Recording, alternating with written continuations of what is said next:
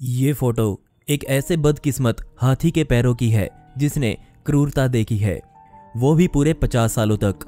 और जब इस हाथी को आज़ाद कराया गया तो सच में उस हाथी की आँखों में आँसू बहने लगे। आज की ये सच्ची घटना कहीं और की नहीं, बल्कि हमारे भारत की ही है, जहाँ पर एक राजू नाम के हाथी को 50 सालों की कैद भरी ज़िंदगी से आधी रात को एक रेस्क्यू ऑपरेशन करके बचाया गया।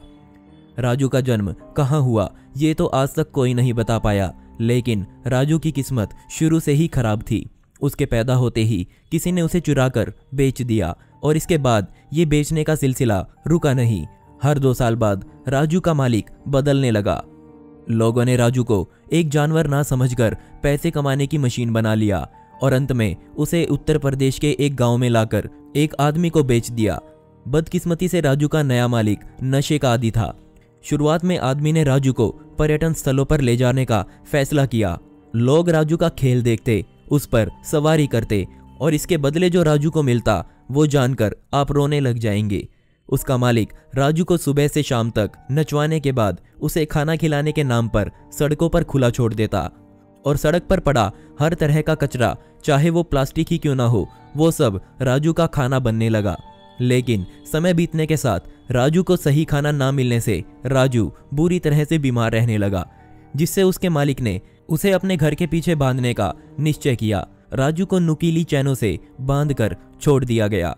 आप शायद विश्वास न करें, पर राजू ने पाँच दशक यानी कि पचास सालों तक अपने मालिक का जुल्म सहा। उसका मालिक नशे का आदि था और जब उसका मन होता, वो राजू को बुरी तरह मारने लगता। लेकिन राजू बेजुबान होने के कारण कुछ भी बोलने में सक्षम नहीं था। आप अगर ध्यान से देखें तो आपको राजू के टांगों पर उस चेन के निशान भी दिखेंगे, जो पिछले 50 सालों से उसके पैरों पर बंधी थी। लेकिन 2014 में भारत की एक वाइल्ड लाइफ चैरिटी को राजू पर हो रहे अत्याचारों की खबर लगी। राजू का रेस्क्यू करने का प्लान बनाने में ही टीम को पूरा एक साल लग गया। 2013 की जुलाई में जब राजू के हालात लोगों के सामने आए तो कोई ऐसा नहीं था जिसे रोना ना आया हो।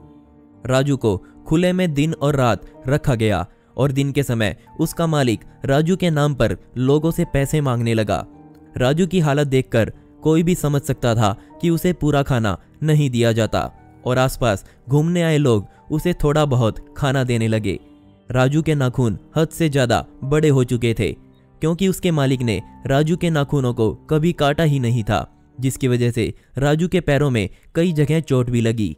2013 में रेस्क्यू टीम ने रेस्क्यू करने के लिए कोर्ट से ऑर्डर मंगवाए, लेकिन ऑर्डर आने में पूरा एक साल लग गया और 2014 में ऑर्डर आते ही श्री कार्तिक सत्यानारायण की अगुवाई में इस रेस्क्यू को अंजाम दिया गया।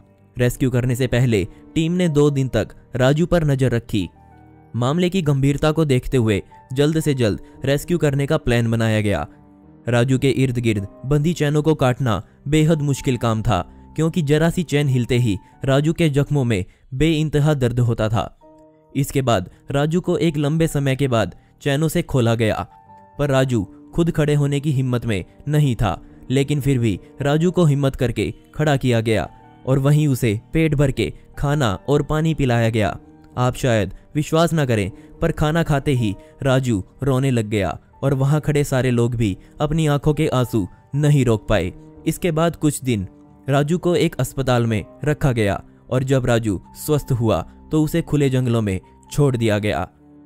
दोस्तों, जानवर बेजुबान है तो क्या हुआ? दिल उनके भी पास है, दर्द उनको भी होता है। ये बात हम सभी को समझनी चाहिए और हमें ऐसा कोई काम नहीं करना चाहिए, जिससे किसी बेजुबान की आँखों में हमारी वजह से दर्द हो। दोस्तों, ये वीडियो का पार्ट फोर था। अगर आपको पार्ट फाइव चाहिए हो तो कमेंट में ज़रूर लिखें। और पार्ट वन, टू, थ्री तीनों के लिंक डिस्क्रिप्शन में है, पहले वो भी ज़रूर देख लें। ऐसी ही इंटरेस्टिंग वीडियोस देखने के लिए मिस्टीरियस दुनिया को अभी सब्सक्राइब करें। मिलते हैं अगली वीडियो में। यह वीडियो देखने के लिए धन्यवाद।